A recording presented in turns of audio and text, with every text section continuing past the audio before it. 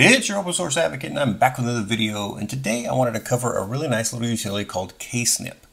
Now I've shown you FlameShot in the past for getting screenshots but KSnip is another really great screenshotting tool that's out there and available and it's cross-platform. It works on Mac, it works on Windows, it works on Linux.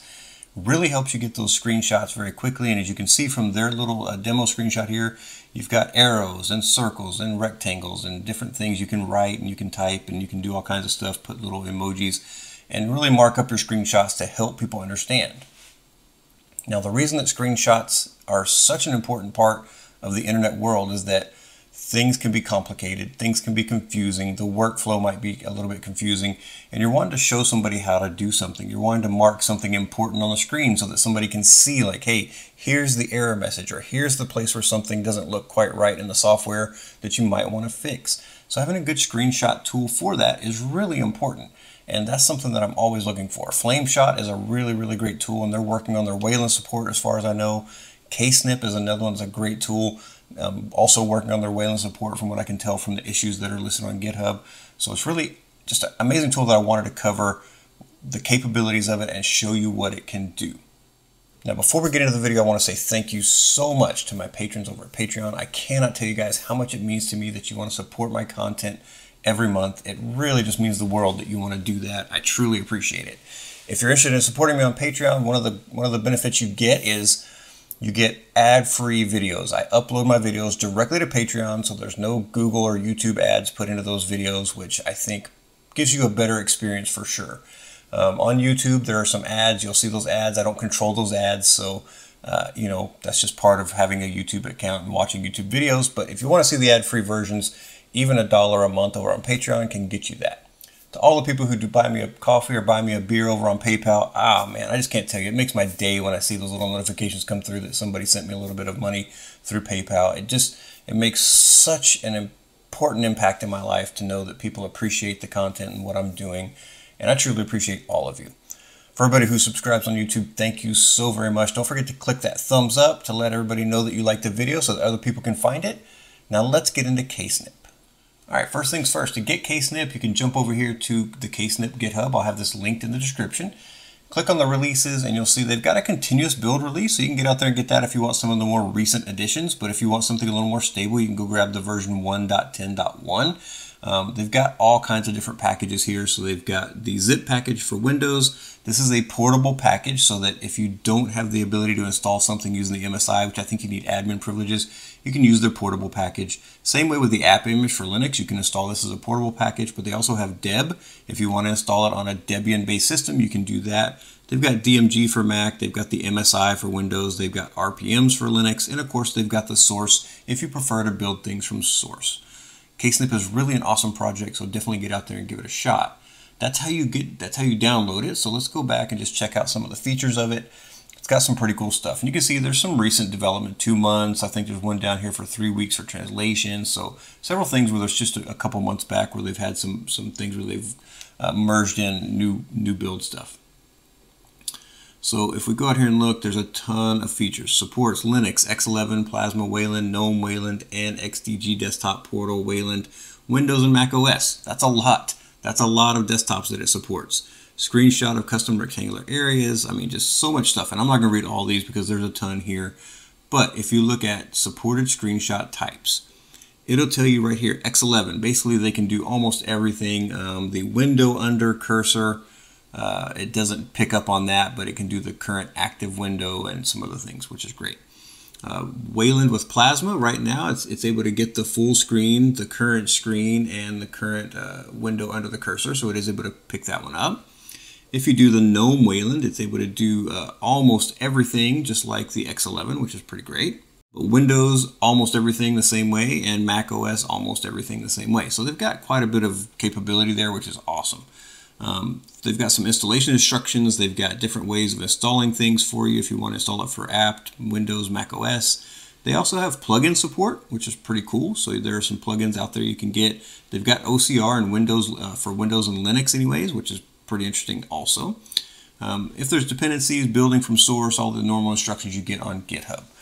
Now, I've talked a lot, so let's go look at what we can actually do with it. So I'm going to open up this video project I'm working on that you guys will be seeing soon. And I'm just going to go here and I'm going to just show you the Ksnip window or, or menu first. So it's down here in my command bar. I'm to right click and there's a nice menu of things that you can do and you can click to actually activate some of these things but there's also hotkeys that you can do. So this one says Shift R. In this case I've got it set to Control Shift R. You can change this but if it just says um, Shift L when you first get it it's Alt Shift and that key. So just be aware of that. I'm not sure why it doesn't show you the whole hotkey combination here but um, for some reason it doesn't but you've got the ability to do the rectangular area, grab the grab the last rectangular area you took a screenshot of, the full screen, the current uh, active window or the current screen, and then the active window. So, so I'm just going to do uh, Control Shift R, and I'm going to select an area. And when I do that, the Ksnip window opens up, and we've got this area that we can work with. Now, we've got a lot of tools inside of this window where we can do some markup. So if I was wanting to say, hey, I want somebody to do something about this little button right here that says configure. You see how it's cut off because I have this pushed over. The button should push over too. So I might want to draw their attention to that button.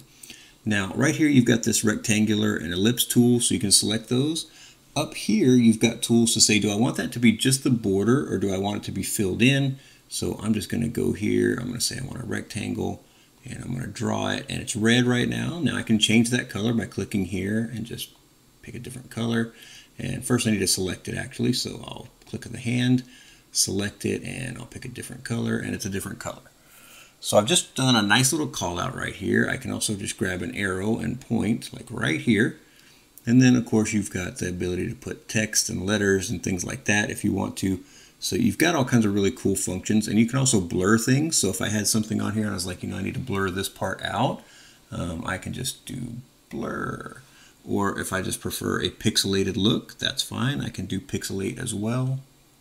And you can see it pixelates it. So it's kind of up to you how you do that. But so it lets you do something where maybe you need to hide a password or a secret key or something like that from the screenshot that you took, but it, it gives you those tools, which is really great. So when I'm done with that, I can either save it, but if I don't want it, I can just do shift and escape. That gets rid of the window for me. Now it's still in memory, so I can still go pull it back up. If I do that by mistake, I can just double click and it comes right back up to where I was. So I can do everything I need to do um, when I get ready to quit out of Ksnip, it's going to ask me about this thing that I haven't done anything with. So if I haven't saved it, it's going to say, hey, do you want to save it? And then you can say, no, I don't want to, or yeah, I do want to. I meant to save that and I didn't.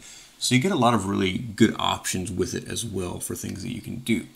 It's really pretty straightforward tool. It's not hard to use at all, as I showed you. So if I just click, uh, I think here, yeah, it goes goes away.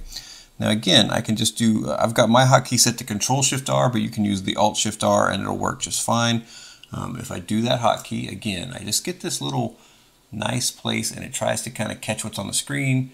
So I could say, look at this, it didn't work right. And then of course, again, I can take this and I can say, look right here. And I think it's got a highlighter. I think this is a highlighter right here. So I can say, it is highlighting. It's just very dark on the screen, so it's hard to see because this is in a dark mode view. Let me take a picture of something that's a little bit lighter and maybe we can see there. You can see it better up here that it is doing some highlighting. Um, let's do something that might have a little bit lighter text. There, we've got a nice uh, bright page here. Let's just do a quick screenshot and we'll just take this. And now we can use our tool for highlighting and I can say this right here needs to be fixed. Or you can actually just change this to say, I just need a rectangular area, and I can pull it like that, so it'll fix it. And again, you can change those colors up here just by using the color palette, pretty easy. Now I can close that and I can tell it, no, I don't want to save it. And here, no, I don't want to save it. And finally this one, no, I don't want to save it. And after doing that, I'm done with Ksnip essentially. So I can just bring this toolbar down and close that and it goes back down into my, into my palette down here where I can access it if I need it. If you're wondering about the license, it is the GNU General Public License version 3, so it is an open source license. If you haven't tried Ksnip, get out there, give it a shot, see what you think, and let me know in the comments what you think about it. Hope you guys enjoyed this video. If you did, like, subscribe, tell your friends about it so they can come along in the open source journey with us, and I'll talk to you next time.